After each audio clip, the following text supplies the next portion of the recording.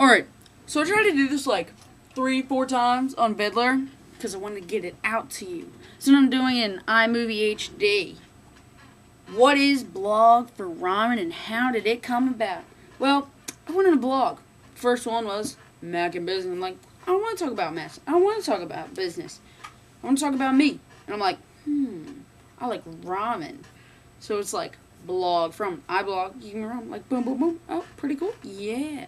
Now the first one was like a lot better. It was outside. It was really cool, really random. Boom, boom, boom.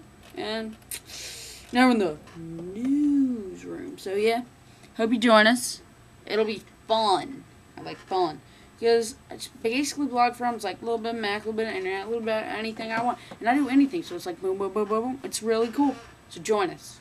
Come back. Because it's always blog for ramen. Peace. Adios. Goodbye. I hope this works. Bye.